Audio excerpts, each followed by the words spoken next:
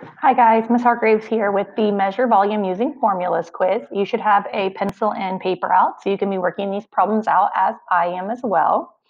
The first one says the sandbox at the playground is two feet tall. So that's our height, right? The area of the sandbox is 80 square feet.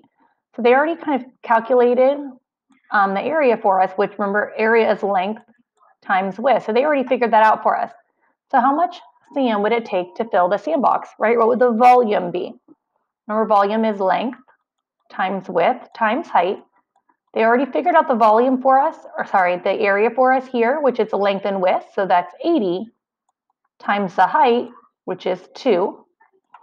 80 times 2, I know 8 times 2 is 16. So 80 times 2 would be 160. I'm going to type 160 in here and click done.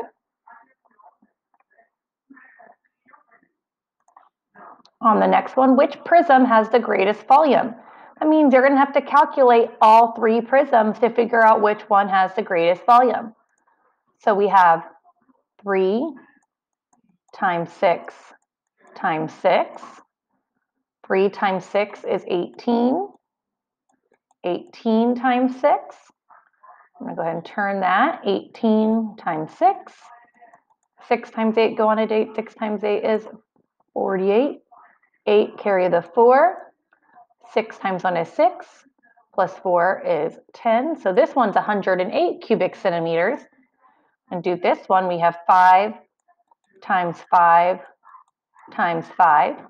5 times 5 is 25.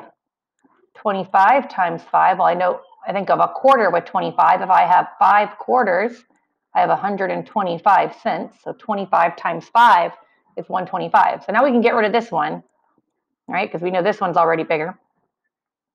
Now we have 7 times 8 times 2. 7 times 8, if you're not sure, remember to use your multiplication chart if you need it, is 56 times 2. I'm going to turn 56 times 2 this way, easier for me to see. 6 times 2 is 12, carry the 1. 2 times 5 is 10, plus 1 is 11, so I have 112 there. So that 108 is gone. Oh, 125 is still greater, so it's not going to be this guy. And our last one, we have 9 times 1 times 9. 9 times 1 is 9 times 9.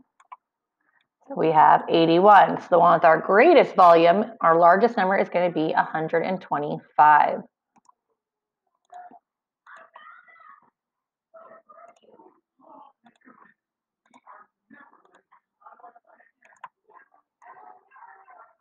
All right, for our next one, it says the volume of a rectangular prism is 72 cubic centimeters.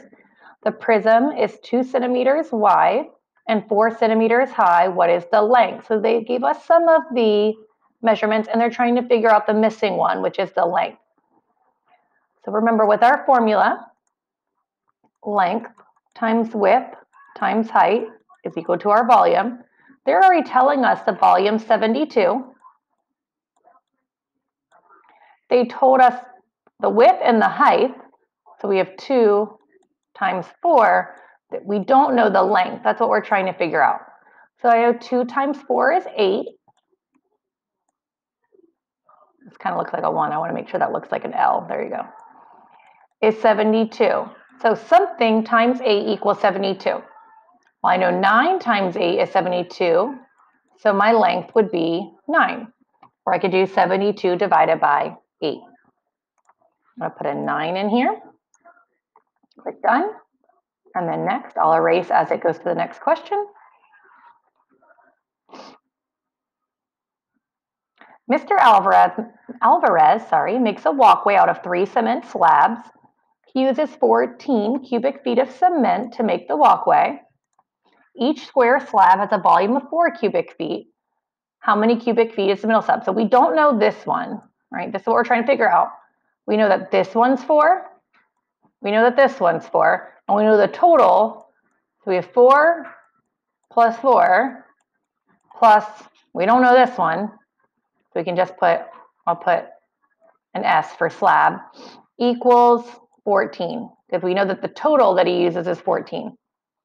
So 4 plus 4 is 8, plus whatever that middle slab is, is 16, 14, sorry. So 8 plus what is 14? 8 plus 6. So it'll be 6 on our middle slab. You could do 14 minus 8. I'll erase as it goes to the next question.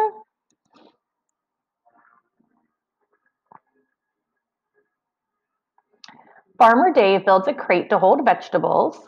The volume of the crate is 48 cubic feet. It already gave us the base area is 16 feet. So what's the height? remember when it gives us that base area, that's the length and the width.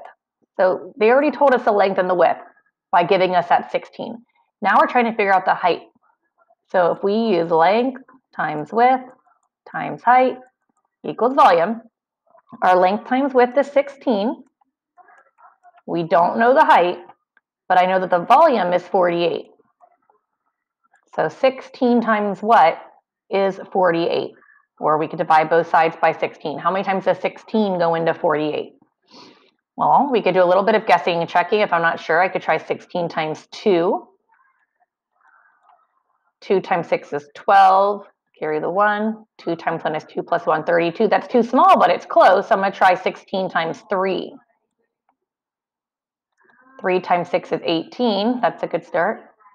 3 times 1 is 3, plus 1 is 4. So our height that we're missing is 3 Put the three in there, click done, and next, and I'll erase. Zora has a bag of potting soil that contains 924 cubic inches of soil.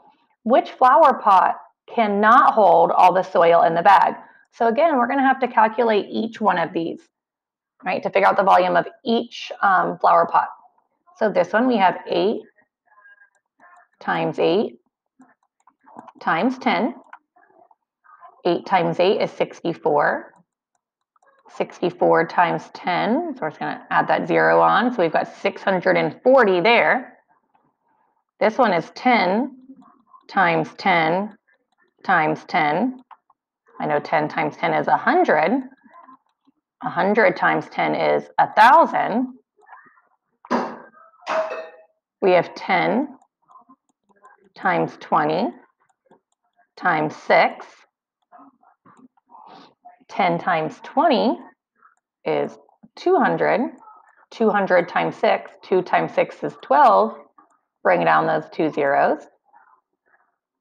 And then we have, move me up there, sorry, 20 times 5 times 10. 20 times 5 is 100 times 10 is 1,000. So looks like this one would hold it, this one would hold it, this one hold it. We want the one that does not. So we're going to choose the one with a volume of 640 because that one would not hold 924 cubic inches. Click next.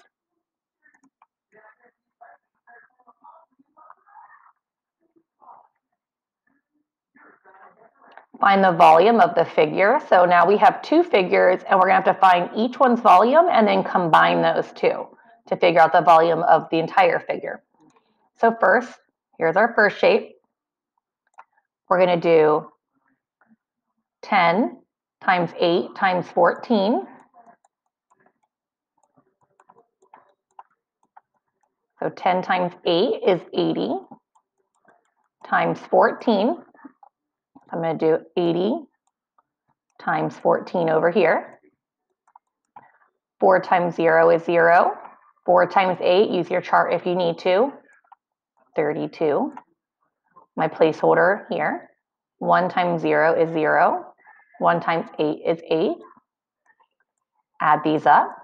0 plus 0 is 0. 2 plus 0 is 2. 3 plus 8 is 11. So for this one, we have 1,120.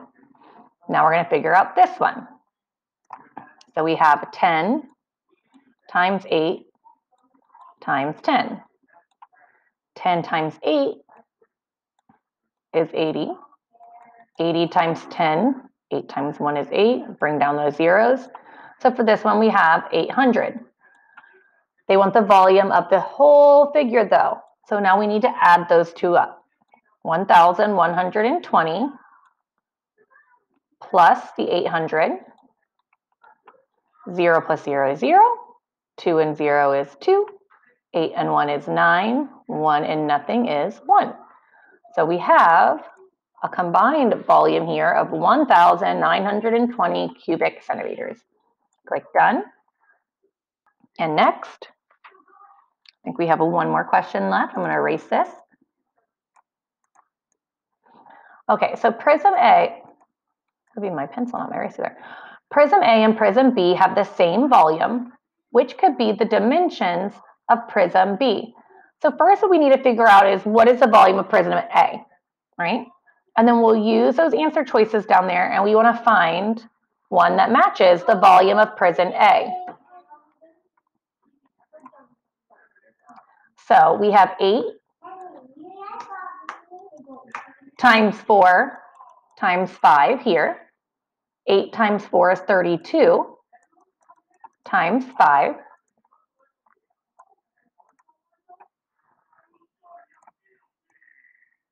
So I'm going to do 32 times 5 on this side here. Make myself a little area. 32 times 5 5 times 2 is 10. 5 times 3 is 15, plus 1 is 16. So we're looking for 160. So now we need to calculate each of these until we find one that has a volume of 160. So 5 times 4 times 7 would be our first one. 5 times 4 is 20. 20 times 7, well, 2 times 7 is 14, and then add your 0. So that one's 140. That one does not work. We need 160. 6 times 10 times 2. 6 times 10 is 60 times 2. 6 times 2 is 12. And add our 0 here. That's 120. Nope. 4 times 4 times 10 4 times 4 is 16. 16 times 10 is 160. So that one would work. And then we could do 8 times 4, which would be 32 times 6. We know that one's not going to work because we need 32 times 5. We had 32 here. So our best option is going to be 4 times 4 times 10 because those both have a volume of 160. All right, guys, if you have any questions, please reach out to your classroom teachers or resource teachers, and we're here for anything you need. Have a good day.